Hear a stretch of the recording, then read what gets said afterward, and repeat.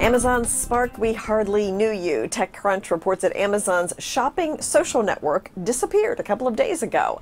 Now, it attempted to bridge online shopping and authentic socializing, but never really took off. A lot of people didn't even realize it existed. The service allowed Prime users to post photos of their favorite products in an Instagram like feed with an easy to click purchase option built in. Well, Disney is expanding its relationship with Lyft. It's now the official rideshare for both Disney World and Disneyland.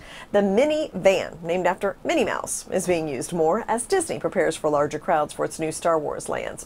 Well, filmmaker J.J. Abrams getting close to a deal to join the new media arm of AT&T. That's according to a report from the New York Times. Abrams has a long history in the industry with a background that's included Mission Impossible, Rogue Nation, uh, Alias, also Lost. Now, reportedly, AT&T will pay Abrams Bad Robot Films $500 million to create content for its upcoming streaming service.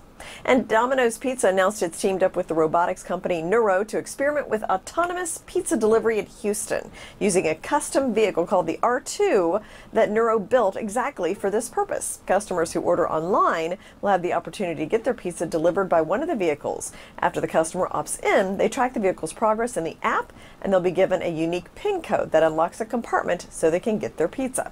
From the NASDAQ market site, I'm Jane King with your tech report. Jane